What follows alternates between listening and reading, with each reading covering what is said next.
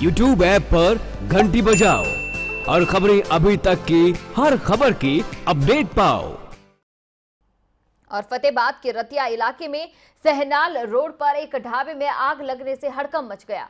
जानकारी के मुताबिक सड़क के किनारे बने ढाबे में अचानक आग लग गई। आग लगने से ढाबे में रखा लाखों का सामान जलकर खाक हो गया। वहीं पड़ोसियों ने आग की सूचना ढाबा संचालक और दमकल विभाग को दी, लेकिन जब तक दमकल विभाग की गाड़ियाँ मौके पर पहुँची, तब तक ढाबा जलकर खाक हो चुका था। फ़िलहाल आग लगने के कारणों का पता नहीं चल पाया है।